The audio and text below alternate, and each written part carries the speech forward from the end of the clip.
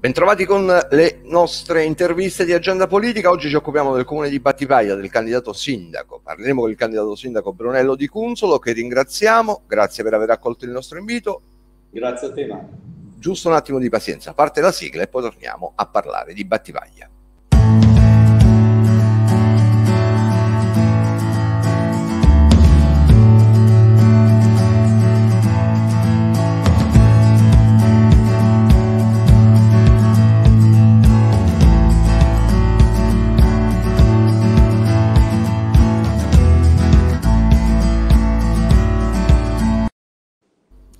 Rieccoci pronti. Allora, di Cunzolo, a quanti candidati siamo innanzitutto? Facciamo un po' il punto della situazione perché solo ieri abbiamo appreso la data della, della, uh, del voto, che è il 3 e il 4 di ottobre per il primo turno e uh, poi l'eventuale ballottaggio.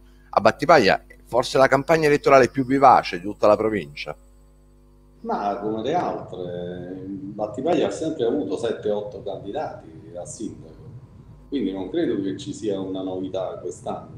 Non so quanti, quanti di questi manterranno la candidatura, ma eh, come dire, non è assolutamente una novità questo affollamento.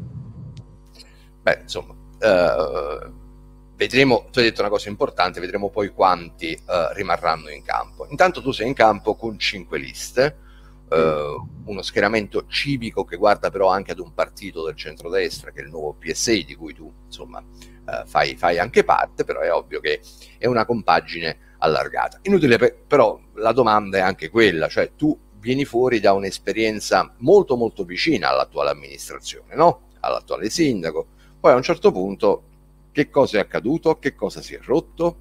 Ah, diciamo che la mia storia eh, parte da lontano, io sono stato consigliere comunale per eh, tre consigliature nell'80 poi ho fondato il movimento che ha portato alle elezioni di Valentino Nicastro, Stranamura, e poi ho fondato il movimento Etica per il Buon Governo, eh, di cui ho curato da segretario eh, cittadino tutta la strategia e l'impostazione del programma politico-amministrativo. Cosa si è rotto? eh, Cecilia Francese ha ritenuto eh, di essere eh, bastevole a se stessa, ha ritenuto di non attuare il programma che aveva fondamentalmente una strategia di fondo, e cioè la partecipazione attiva, le giunte aperte, la nomina di un eh, garante della legalità indipendente, il Senato cittadino, le telecamere nella, nelle eh, stanze del potere eh, per poter riavvicinare alla politica in modo partecipato i cittadini. Ha fatto tutt'altro, eh, ha chiuso le stanze, ha evitato eh, la partecipazione assembleare che noi avevamo avviato e d'altro canto di tutto quello che c'è in quel programma deliberato non ha attuato nulla. Insomma, un giudizio tranchant nel senso che eh, immagino che questi punti eh, che hai elencato saranno anche alcuni dei punti che poi porterai all'interno del tuo programma. Assolutamente, noi continuiamo perché eh, il successo eh, elettorale eh, era eh, basato sulle aspirazioni di un popolo che dire, non partecipa attivamente in politica, non è eh, un popolo che ha la pretesa di occupare eh, pacchetti eh, precostituiti di voto, eh, è un eh, popolo diffuso che aveva una speranza. Noi vogliamo recuperare eh, questa speranza e quindi ripercorrere quella parte iniziale con una manovra strutturale di bilancio e di politica locale eh, per alimentare una politica basata su entrate extratributarie eh, con la valorizzazione dei beni comuni e eh, l'uso della moneta eh, come leva urbanistica edilizia per realizzare un equilibrio fra ragioni di mercato, quindi occupazione, sviluppo e quant'altro, e ragioni sociali, eh, perché una cosa è certa, eh, nessuno eh, promettendo mari e monti eh, dichiara la necessità di equilibrare eh, costi di investimento e costi di gestione. Un'opera pubblica anche ben fatta diventa un deserto, diventa un'opera inutile se non avrai capacità anche gestionali. E in questo la partecipazione attiva, il mondo delle associazioni, eh, può valorizzare un'attività eh, gestionale eh, e può alimentare eh, partecipazione eh, concreta, fattiva, eh, reale in questa città. Fondatori dei movimenti che vanno via, assessori che lasciano mh, insomma, negli ultimi giorni, ma addirittura c'è qualcuno che dice potrebbe accadere anche altro. Politicamente, che giudizio dai di questo ultimo anno, di questi ultimi otto mesi di amministrazione?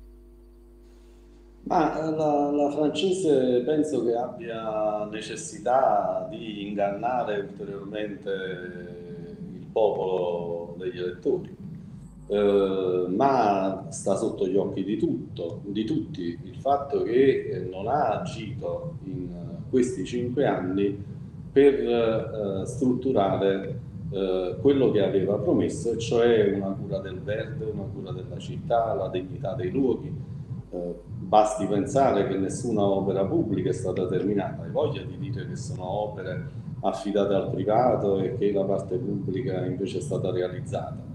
In effetti sono appalti e come appalti vanno trattati. Aveva promesso tempi certi nella realizzazione di opere pubbliche, eh, i lavori sul Tusciano che dovevano essere consegnati nel 2017-2018 sono ancora tuttora in corsi e indeterminati eh, e tutta questa gestione eh, anche del piano di zona è ingannevole.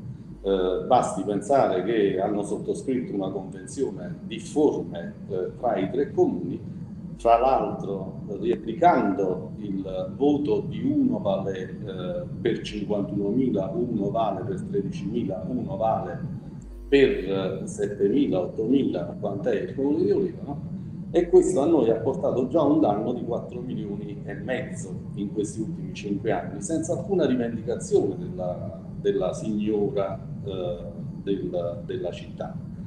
E questa è una scelta, una scelta che ha valorizzato la sua posizione nelle aspettative eh, per la scalata del potere eh, in uh, provincia uh, di Salerno, ma certamente non ha uh, dato a Battivaglia la possibilità di spesa. D'altro canto è stata molto disattenta eh, nella gestione dei rifiuti, eh, nella ristrutturazione eh, con un piano industriale eh, che completi le capacità di Alba, è stata incapace eh, di eh, sostenere anche mediante convenzioni o con una, una nuova occupazione il deficit di personale che c'è al comune di Battipaglia, ha ingannato continuamente eh, tutti eh, sostenendo che il suo successo è dato dal sacrificio per eh, riequilibrare i debiti. È stata smentita sia dal dirigente, sia eh, dal proprio dirigente, sia dal proprio assessore in affermazioni fondamentali. Poteva eh, diciamo, assumere, non l'ha fatto, chiedendolo alla commissione straordinaria.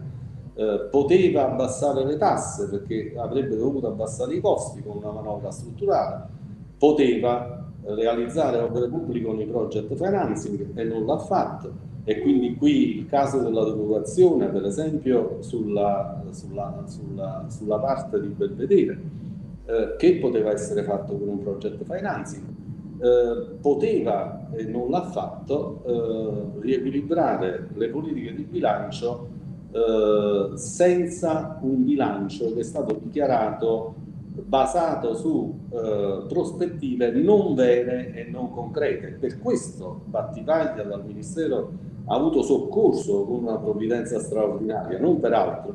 Che lei dica che abbia eh, riequilibrato il bilancio senza questa provvidenza è falso, è falso perché se il Ministero ha bocciato le prospettive di un bilancio che non si sarebbe potuto sostenere, non avrebbe consentito al Comune di uscire dalla logica del debito per la, la, la pianificazione del debito, è evidente dire, la eh, caduta di stile anche di una sindaca che non dice la verità. Beh, insomma, abbiamo fatto una bella chiacchierata di dieci minuti, ne faremo altre nel corso della campagna elettorale. Nel frattempo, buona campagna elettorale che ah, si apre ufficialmente no? oggi con la data. Sappiamo che ci sono questi 60 giorni da qui al voto del 3 e 4 ottobre. Grazie a Brunello Di Cunzolo, grazie a chi ci ha seguito. Appuntamento alle prossime dirette. Arrivederci. Arrivederci.